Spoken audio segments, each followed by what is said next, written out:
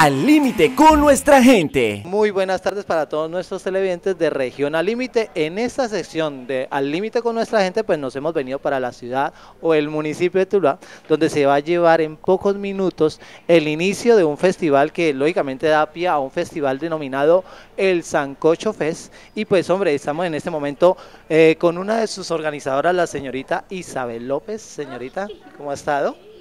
Señorita, toda la vida, eso sí, yo lo he dicho, gracias, caballero. Sí, pues sí. Bueno, cuéntenos un poco acerca de este evento como es el Festival Sancocho Fest. El sancocho, el sancocho es un evento más bonito, muchachos, vea. Eso es una revoltura de cosas, así como el sancocho que yo hago en la casa, que le echo papa, la yuca, la racacha, que el pollito, la carne. Así mismo es esto, mijo, vea, vea, es que eso tiene danza, teatro, cine, fotografía, un montón de conciertos, la cosa más bonita.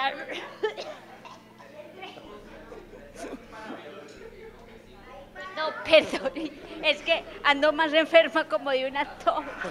Se nota, se nota. Sí, sí. Y entonces eso vamos a tener de todo, de todo. Eso es una cosa más bonita. Vea, eso tenemos gente que viene de Estados Unidos. Por allá hay un argentino mirándome que es un bizcocho además. Si ve cómo le va, veo ese micrófono, usted me va a disculpar. No, no, no. Y entonces eso vamos a tener tres días de conciertos. Y pero es que hay una cosa más bonita ese festival, mi hijo. Cuéntenos qué es lo ¿A bonito. usted le gusta el estudio? El estudio sí me fascina. Ay, mijo, ve, a mí también me gusta eso. Yo puedo tener estos 40 añitos apenas que usted me ve, sí. Ah, no, está joven. Sí, Muy no, joven. Sí, dicho que yo digo 40 porque yo no me quito la edad. No. Pero vea, eso yo con esos 40 que tengo, a mí me gusta aprender de todo, de todo. Y entonces eso nosotros vamos a tener, dizque, talleres de clown, de danza contemporánea, de cine, de escritura, de alimentación sana, de derechos humanos, una cantidad de cosas. Y yo voy a ir a todos, a todos, a todos voy a ir.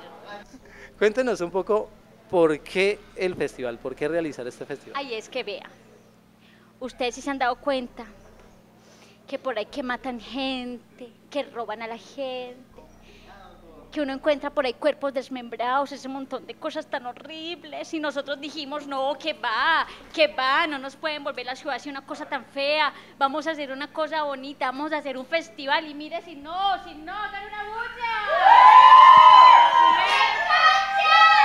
Es que sí,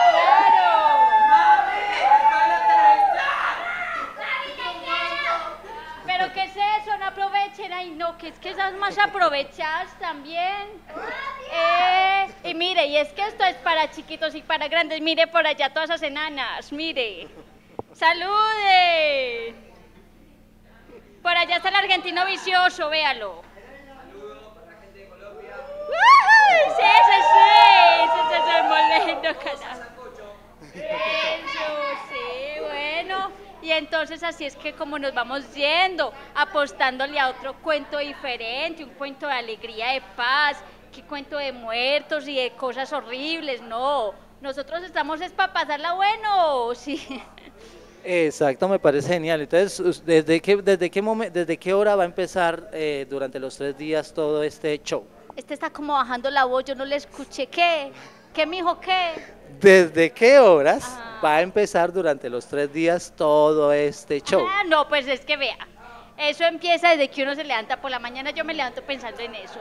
Ahorita va a haber un carnaval que va a terminar por la noche, allá en la plaza, en la de la biblioteca, allá vamos a tener un, un concierto, por ahí hay, en mi resto de familia, por ahí está, por ahí está, y les vamos a hacer una presentación nosotros, mis hijos, mis hijas, las vecinas chismosas, todos, a todos los invitamos, a todos, porque uno a todos los quiere decir sean chismosos y mala gente, no importa. Y mañana es que a las 4 de la tarde, a las 4 de la tarde empiezan conciertos y los conciertos donde todo vea, vamos a tener música del Caribe, del Pacífico, vamos a tener disque jazz, yo no sé qué es eso. Blues, ve, yo no sé qué es eso, pero vamos a tener y uno hay que allá ir a bailar. Vea la que me dice poner.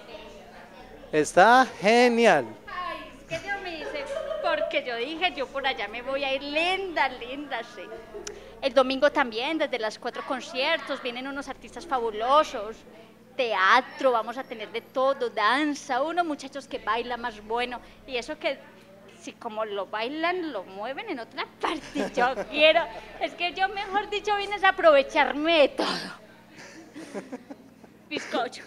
Bueno, como verán, eso es lo que está pasando aquí en el municipio de Tuluá. Así que vamos a recibir una invitación de nuestra invitada especial. Invitemos a, todo, a todas las personas a que vengan a este festival, ¿ok? Pues bueno, yo los quiero invitar a todos, a todas, bizcochos, chiquitos, grandes, todos, todos, todos, vénganse para acá. Viniéndose es rico, vénganse, vénganse para acá, que hay mucho que hacer, son tres días de fiesta, tres días sabrosos, ¿cierto muchachos? Vengan, que esto todo es gratis, que todo es, es para todos, vamos a tener comida de mercado campesino, vamos a tener unas, unas puestas, buenas bizcochas, ay pero tan lindas. Vamos a tener de todo gratis, sabroso. Ve, aquí están todos los que les gusta todo gratis, aquí están. Véngase, véngase. Ok, si le gusta todo gratis, entonces lo invitamos a que se acerque a este gran festival, que es una explosión cultural y artística aquí en el municipio de Tuluá. Y con esto, pues los voy a dejar con imágenes de todo lo que va a suceder en medio de este festival, el Sancocho Fest.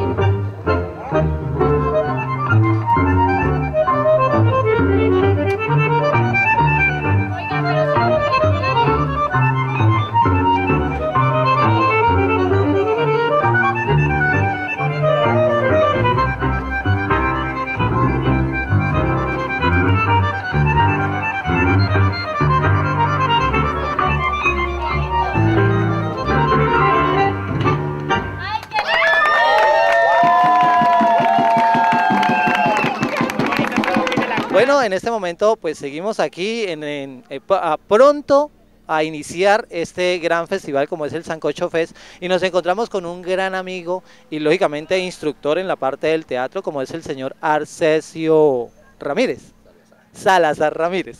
Bueno, eh, señor Arcesio, cuéntanos un poco acerca de ¿Cómo inicia el teatro en el municipio de Tuluá? Bueno, pues para hablar del teatro y del movimiento cultural de, esas artes, pues tocaría remontarnos más o menos a los años 20, 30, donde pues eh, Tuluá siempre ha sido un lugar de paso. Y pues mucha gente que viajaba, digamos, de Buenaventura a Bogotá a través de los barcos, pues llegaban acá con sus compañías y pues tenían un espacio que es donde hoy queda el actual Banco de Bogotá, y pues ahí comenzaron a, gestarse, pues digamos, ciertas presentaciones. Sin embargo, pues ya mucho más adelante, más configurado, digamos finales de los años 60, principios de los 70, hubo un personaje muy interesante que el sitio donde estamos esta tarde, pues lleva su nombre, es el señor Lino Mora Escobar, que pues es el pionero más bien en el teatro popular.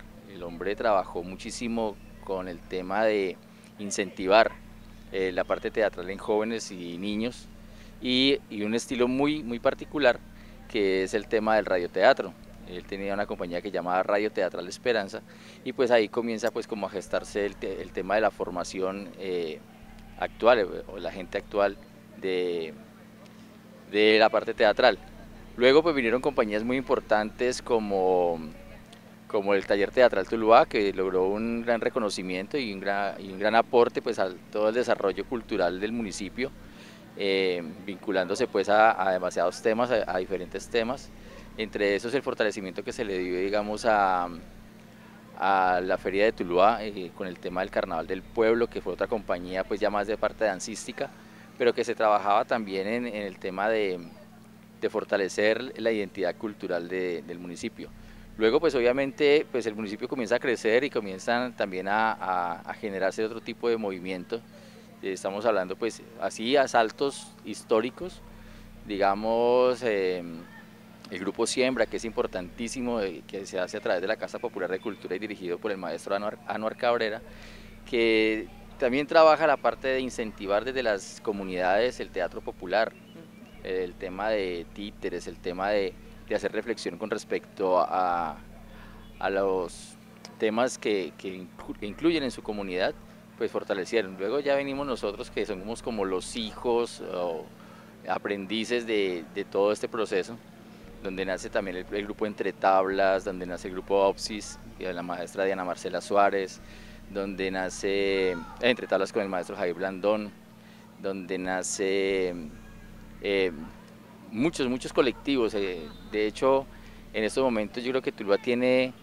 un proceso muy interesante eh, gracias obviamente a un programa eh, municipal que, es, eh, que fortaleció bastante todas las artes, no solamente la parte teatral, sino pues todas las artes, ese programa Construyendo Futuro que nos ha permitido apoderarnos de espacios y también encantar a los jóvenes en diferentes temas artísticos.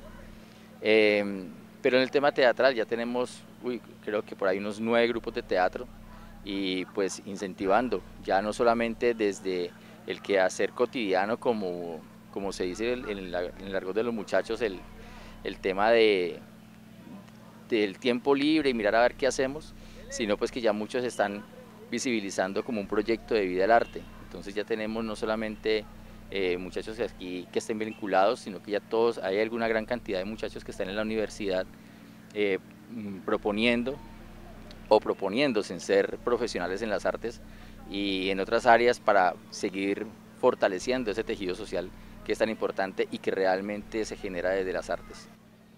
Ok, al señor Arcesio, cuéntenos en este momento aquí en Tuluá, pues tú, nos acabas de decir, claro está que, que ya llevan, en este momento hay como unos nueve agrupaciones, ¿cierto? Que están manejando la parte teatral, pero ante las personas eh, que, que pues digámoslo así no participan de un grupo teatral, que no hacen parte pues como tal de, de, esta producción artística, ¿qué les ha parecido? O sea, ustedes mismos como directores, que, gestores de esta parte cultural, ¿cómo ven la parte del público cuando se realiza un, un evento cultural y más como el que se está, está por iniciar, como es el Sancocho Fest? ¿Cómo, eh, cómo es la, la, apreciación de la gente, del público, ante esta clase de, presentaciones culturales?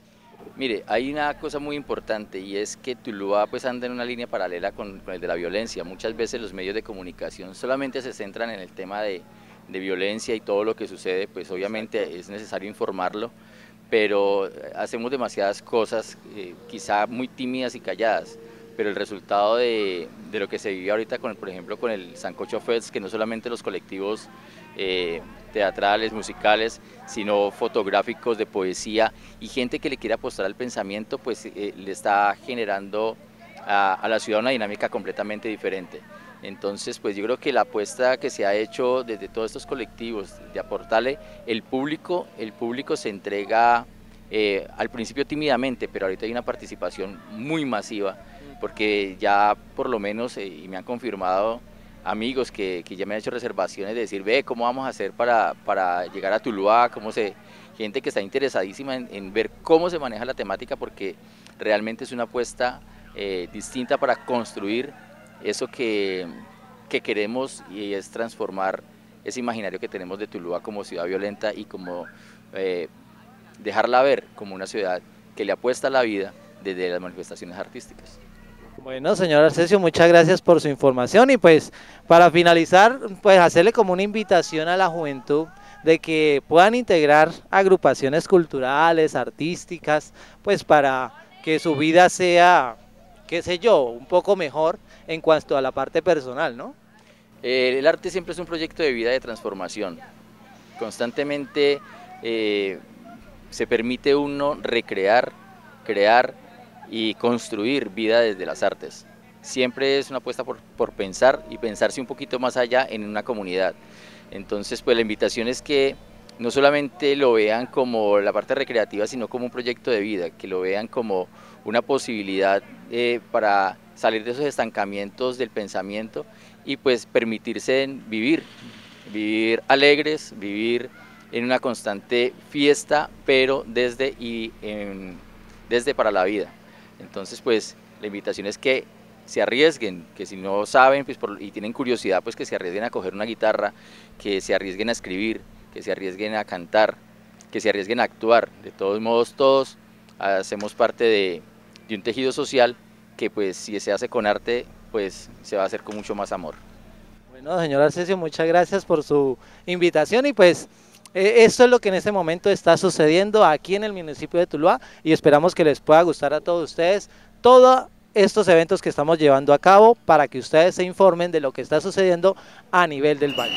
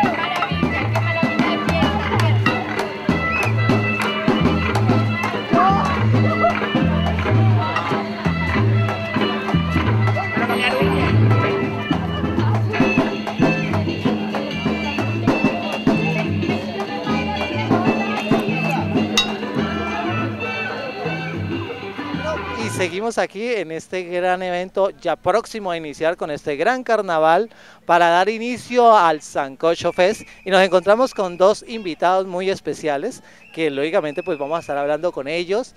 Eh, el señor, ¿cómo te llamas? Soy Foncho Salas. Poncho Salas, ¿haces parte de la agrupación? Sí, el Caribe Funk. Caribe Funk. Bueno, cuéntame un poco del Caribe Funk. ¿Qué toca el Caribe Funk? Según, lo, según e- el nombre debe ser algo de...